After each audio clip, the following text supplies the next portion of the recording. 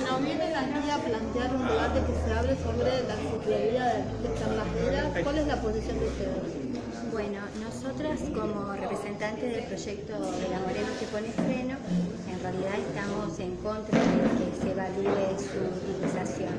También estamos en contra de, que utilicen a la escuela, a los alumnos de nuestra escuela como la excusa para poder sacarla. En realidad nosotros priorizamos la vida, no solamente de nuestros chicos, sino de, de los adultos, de los ancianos que la durante todo el día y creemos que el interés personal que pueda tener este vecino no debe jamás primar, primar la vida de los bueno. Bien, ¿cómo había surgido esto? ¿Fue de la Escuela Moreno la idea del ciclocarril? Nosotros ya veníamos trabajando con este proyecto hace dos años y eh, en torno a un montón de necesidades, en realidad no fue una actividad propia del proyecto. Nosotros cuando nos acercamos a la municipalidad para ver de qué manera podíamos trabajar, surge esto como una herramienta más que se nos podía brindar, pero no estaba incluida en el proyecto. Nosotros fue de suma utilidad y lo incluimos dentro de nuestro trabajo con los chicos.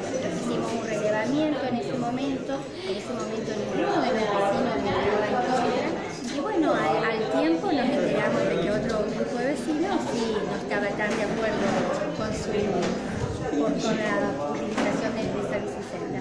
Sí, ¿Te sorprende, digo, ¿te sorprende esta actitud y cuáles son los argumentos de quienes se oponen? Sí, sí, la verdad que sorprende porque porque nos sorprende, nos sorprende porque, digamos, como dice Cecilia, mi compañera, eh, hay que priorizar la vida.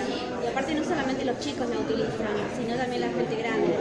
Así que lo que yo quería agregar en la pregunta anterior es que inclusive golpeamos puerta por puerta de todos los vecinos comentándole lo de la y estaban de acuerdo.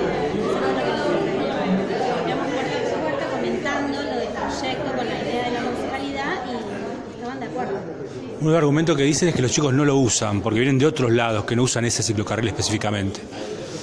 Nosotros tenemos una población importante que viene, por supuesto, del barrio Fátima y de otros alrededores, pero también tenemos otros chicos que vienen de otros lugares. Pero nosotros no vemos a a la bicicenda como algo exclusivo de nuestra porque también si lo veríamos como que es exclusivo de nuestra escuela, tendríamos que concentrarnos en una franja horaria que sería la entrada y la salida del establecimiento en ambos turnos. Entonces, me parece que no puede utilizarnos con esa excusa. Seguramente lo vas a ver durante todo el día, chicos andando de guardapolvo blanco en bicicleta todo el día. O sea que no solamente nosotros los que la usamos, sino los ciudadanos, los vecinos que necesitan de esa vía para llegar a su casa. Además tienen que entender que esta bicicenda forma parte de un plan, de una red de otras bicisendas, que a futuro seguramente se irán agregando otras. Bueno, bueno, gracias. ¿eh? Ahí pasaba la docente Cecilia Perini. Vamos a ver si podemos hablar también con algunos de los vecinos eh, que, que, está aquí en el lugar y algunas autoridades también municipales. ¿Usted vecino de la ciclovía? Vivo en la ciclovía. Bueno, estamos en vivo para Rafaela Noticias. Eh, bueno, ¿usted está en contra, está a favor de esto? ¿Qué es lo que están, le van a pedir hoy al municipio? En contra, desde que se hizo. ¿Por qué? Por todos los motivos que expusimos acá, la incomodidad que representa en una calle que casi no pasan bicicletas. Yo vivo enfrente del de árbol, muchísima gente lleva a sus nenitos, a sus criaturas y tienen que parar en doble fila, ahí hay un peligro. ¿El árbol qué es? Eh, atienden a chicos con discapacidad motrices y otras cosas, trabajan muchos profesionales. Los médicos o médicas tienen que dejar el auto a una cuadra, una cuadra y media. Eh, no fue buena la idea, por muchas cosas. Uno se queda afuera mirando cuántas bicicletas pasan y a veces con cuatro o cinco bicicletas. ¿Para qué se hizo?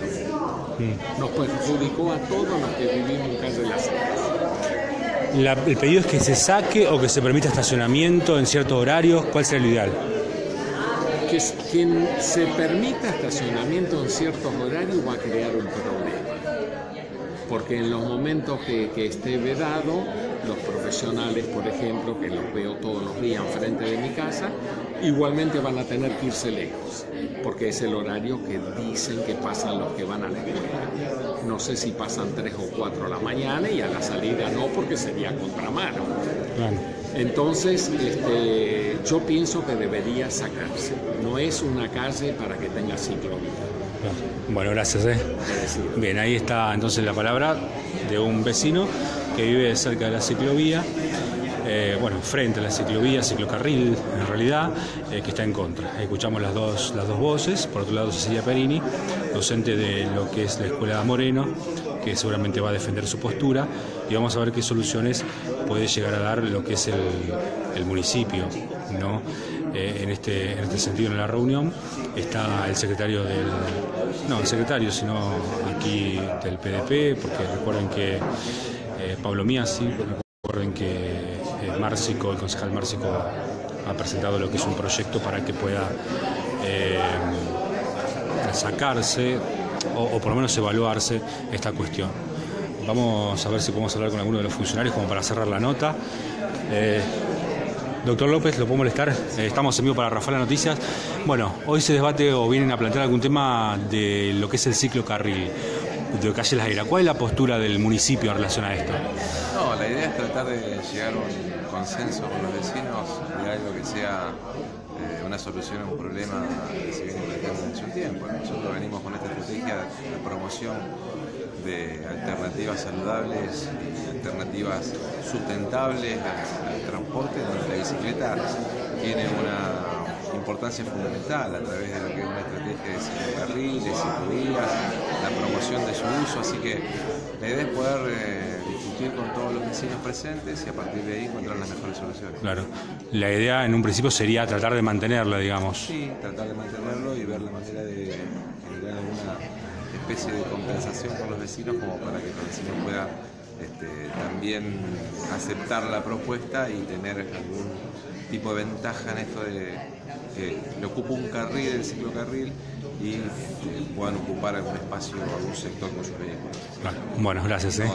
Ahí pasaba entonces eh, quien está a cargo de lo que es la Secretaría de Gobierno, que tiene a cargo todo lo que es materia de tránsito. Aquí la reunión va a comenzar de un momento a otro. Eh, vemos al ingeniero Daniel Ricotti de Servicios Públicos, también a Maina de lo que es la parte de planificación, planificación perdón, planeamiento, eso quise decir urbano.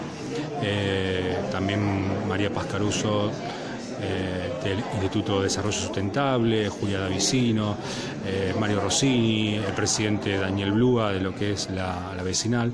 Bueno, esta reunión donde se va a tratar el tema del ciclocarril de calle Las Heras.